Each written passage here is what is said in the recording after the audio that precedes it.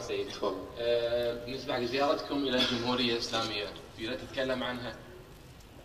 بس أتكلم عنه صحيح. شنو الموضوع كان؟ هل كان شيء معين أم زيارة عادية كانت وأحسنت؟ أول دولة قبلت باستقبالي من دون جواز أنا ت- عرضت على كم دولة ما حدخل بس الجمهورية الإسلامية قبلت انه أدخل لها بلا جواز. قالت لي تعال. رحت أنا ما أصدق إنه ازور الإمام الرضا سلام الله عليه.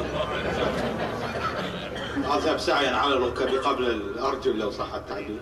ومن ثم صارت هناك لقاءات ببعض ال- آه، المسؤولين وبعض ال- اللا مسؤولين لو صح التعبير. وهذا المختصر مفيد.